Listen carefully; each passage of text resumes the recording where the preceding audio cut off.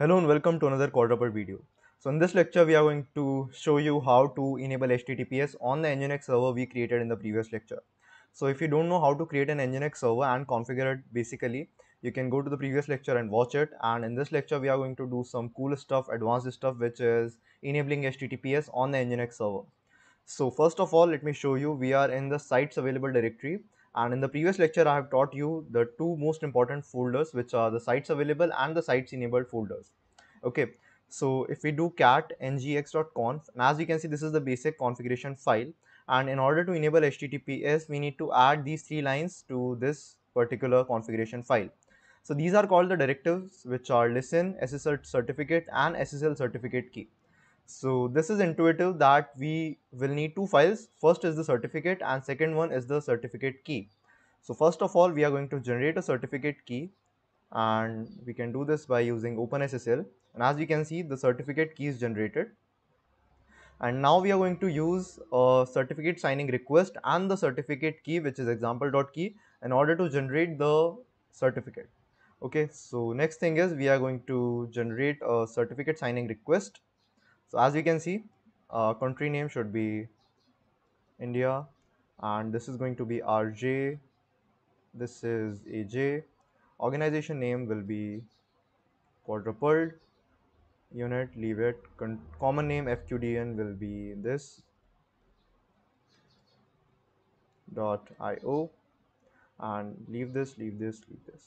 Uh, if we do ls, we have the certificate signing request so the certificate will be signed using the CSR and the key.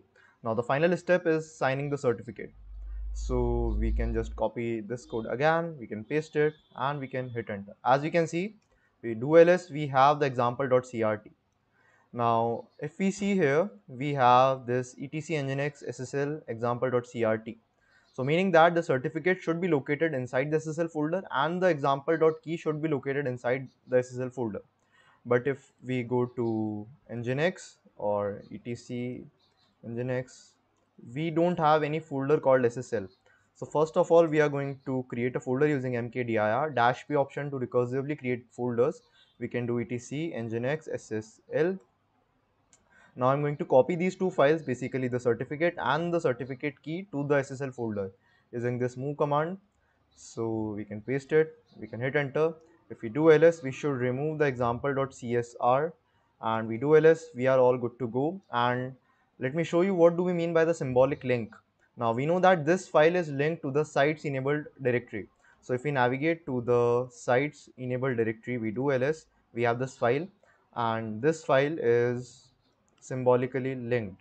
Now if I do cat ngx, so this is also having the same contents. So we don't need to edit both the files at the same time. We, if we edit one file, the changes will take place in the linked file at the same time. So that's why it is very important. It is called as symbolic linking.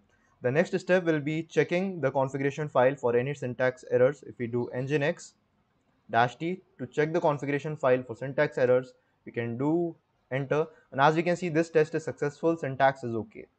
Finally, I'm going to do system ctl.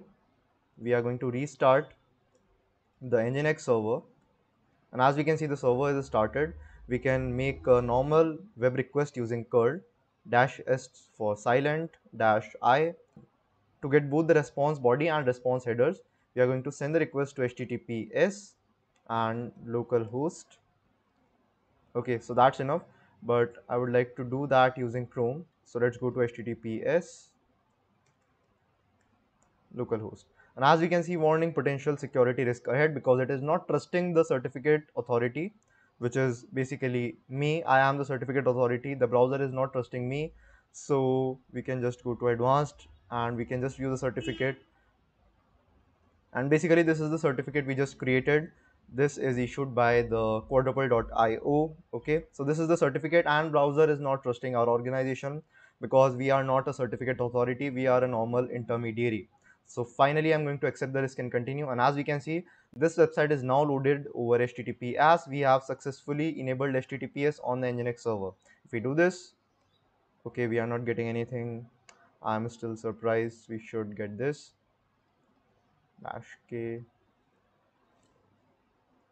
So curl dash dash s dash i so meaning that we need to use the dash k option because the browser is not or the curl is not trusting my certificate authority. So as you can see this is working because curl is also doing work the same way the browser does. It is also not trusting the certificate authority.